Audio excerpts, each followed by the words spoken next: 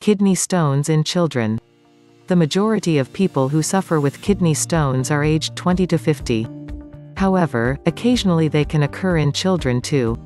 It can be devastating watching your child suffer with the symptoms kidney stones produce.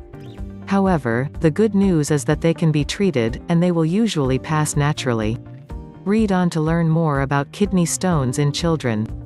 Why do children develop kidney stones? Children can be susceptible to kidney stones if they don't drink enough fluids. While they can occur in premature infants, they tend to mostly affect teenagers when they strike in childhood. Teen girls are known to be particularly susceptible to kidney stones and the most common type they suffer with is calcium-based stones. While diet is the leading cause, they can also occur due to a kidney infection, an inherited issue, or through a blockage to the flow of urine. What are the signs and symptoms to watch out for? Pain in the back area is the most common sign of kidney stones in children. The pain will come on suddenly and remain severe and constant. This in turn can lead to nausea and vomiting. As the stone moves down the urinary tract, it can also cause blood to appear in the urine. However, this may not be visible to the naked eye. Diagnosis and treatment. If you suspect your child does have kidney stones, they will need to be diagnosed by the doctor. Usually an X-ray or ultrasound is used to diagnose kidney stones in children. CT scans are common for adult diagnosis, but they do pose a greater risk to children due to the radiation. So, an X-ray will usually be the first test carried out.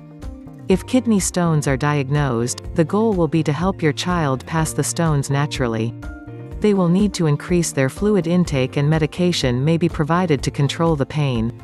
If the kidney stones are causing your child to vomit and not keep fluid down, an IV may be required. However, this rarely has to be provided as most are able to keep fluids down without issue. If the stones are particularly large, the doctor may suggest surgery to remove them. This is because your child would struggle to push out larger stones by themselves, leading to a significant amount of pain. Can they be prevented? There are a few ways you can prevent your child from developing kidney stones. Making sure they eat plenty of calcium-rich foods and drink lots of fluids is the main step to take. In terms of fluids, they should ideally be drinking water rather than fizzy soda. You can also reduce the amount of salt they consume. Overall, kidney stones can occur in children, so it is worth being aware of the signs and symptoms. If you do suspect your child has them, take them to the doctor for a proper diagnosis. This will ensure their symptoms aren't being caused by a more serious underlying health issue.